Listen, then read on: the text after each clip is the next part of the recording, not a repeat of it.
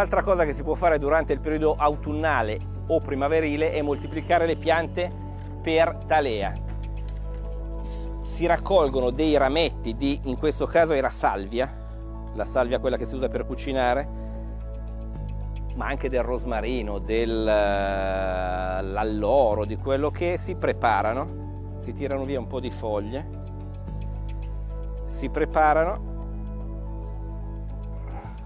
se ne preparano non uno solo, un po', si tagliano le foglie in alto a metà di modo che le foglie fotosintetizzano. Ma non avendo le radici fotosintetizzando devono mantenere gli stomi aperti cioè quelle cose che permettono all'anidride carbonica di penetrare all'interno della foglia per far sì che avvenga la fotosintesi.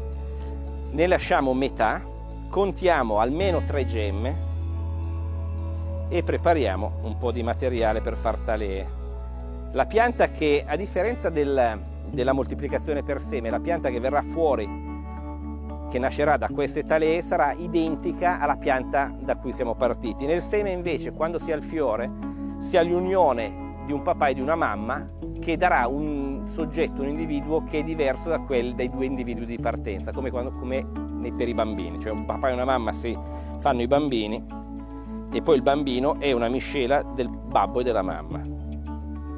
Ok si preparano un po' di talè. Quello che avanza lo si usa in questo caso per fare un bel arrosto.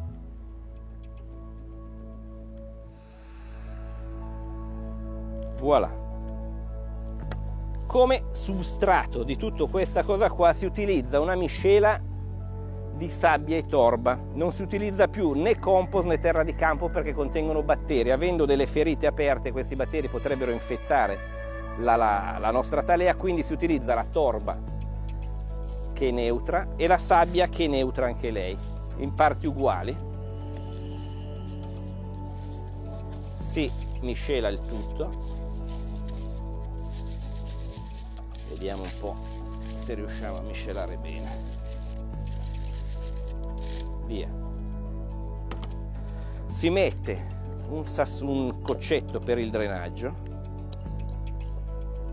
Ecco, in questo caso conviene utilizzare vasi di terracotta. La terracotta è porosa e trattiene l'umidità. Dobbiamo far sì che la nostra piantina emetta la nostra piantina, la nostra porzione di pianta emetta le radici prima di seccare. Quindi facciamo un buchetto con la matita,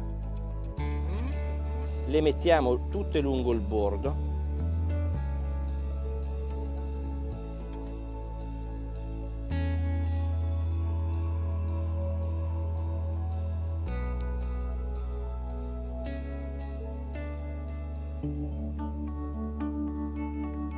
Voilà.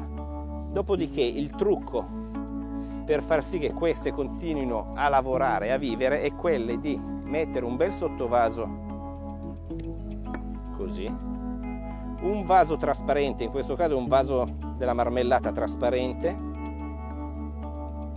e di riempire il tutto di acqua. Cosa succede? Nostra, le nostre rametti non hanno radici.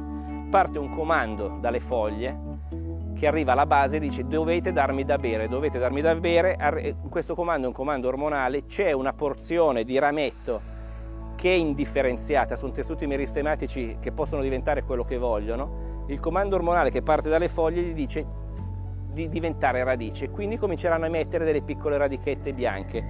Se tutto questo avviene prima che la pianta secchi, avremo delle nuove piante, altrimenti non avremo niente, buttiamo via tutto, ma conviene tentare andare avanti. Il trucco è quello di far sì che all'interno del, della nostra piccola serretta, di questo ambiente qua, ci sia umidità.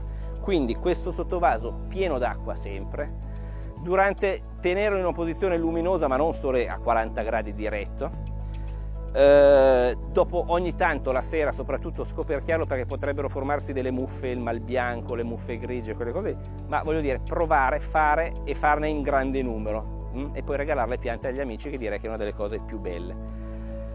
Mi stacco, vado a prendere l'acqua che mi serve per innaffiare, per far vedere, in questo caso mettiamo l'acqua nel sottovaso e lui rimane così l'acqua verrà assorbita da sotto innaffio anche quei due semini che non avevamo bagnato prima, questi con la rosetta perché sono delicatini. Ok, via, voilà. Finito.